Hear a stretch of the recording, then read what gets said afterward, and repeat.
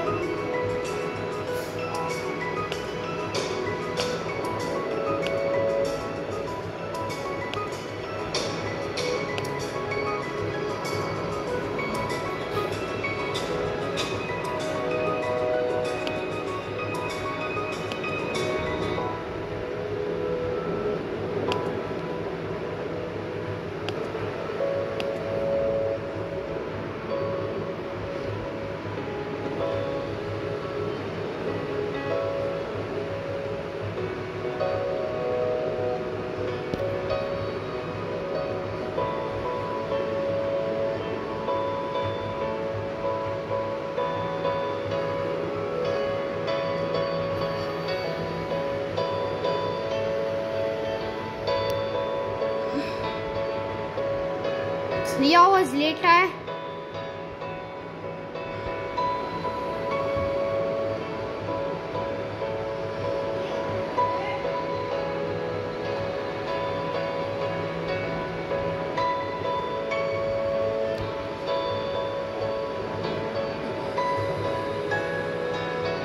stay tuned for the full video. Don't forget to subscribe. Watch more videos. Okay, subscribe now. That's what Nike said.